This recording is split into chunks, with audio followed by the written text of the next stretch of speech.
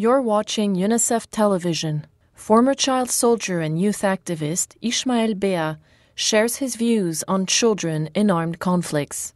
I think it's an appalling phenomenon to really, you know, um, recruit children. If you really think about it, I think it's it's one of the worst crimes anyone can commit because you're robbing somebody of their childhood, you're damaging them for the rest of their lives, um, psychologically, some sometimes physically. It has become sort of a very common practice now for people to use children because children are easily recruited, they're vulnerable when they're in refugee camps or running away from different wars. And for me, one thing that I miss the most is that I never got a chance to fully enjoy my childhood, so I, I don't have that.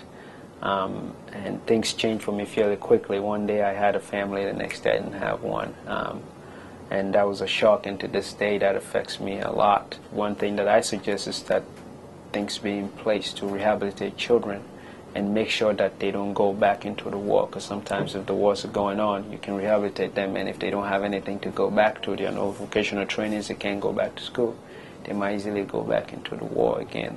Uh, there are laws that are in place but I don't think they're strong enough. I think there needs to be more push to um, uh, rewrite some of those laws and actually to put in um, mechanisms that uh, monitoring mechanisms to hold people accountable for doing this kinds of stuff. I mean, eventually, if the war is not going on, then you'll be able to stop people from recruiting kids. I don't think anyone should use children um, um, in war um, because if you're doing that, you're basically destroying the future of a nation.